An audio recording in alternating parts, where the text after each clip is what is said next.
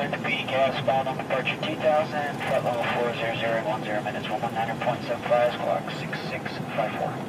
400 Delta Whiskey, Quebec is correct. Naples ground 750, Golf Echo, 5. So, Buzzer Golf Echo, plus one, uh, proceed on the runway 5, turn right at Charlie.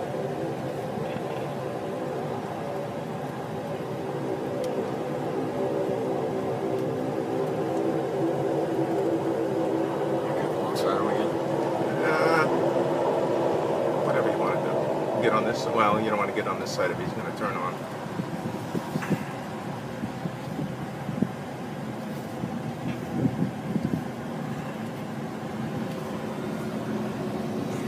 That's good. Just stay quartering him so he doesn't get distracted.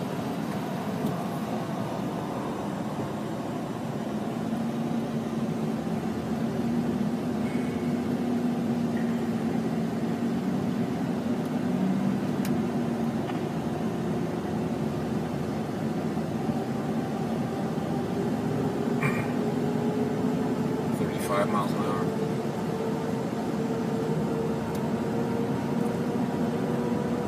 Forty.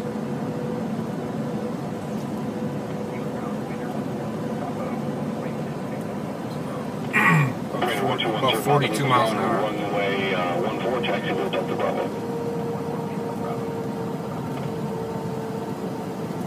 Naples ground, 2850. 2850 Yankee, Naples ground collision, collision lights work and everything. Yeah.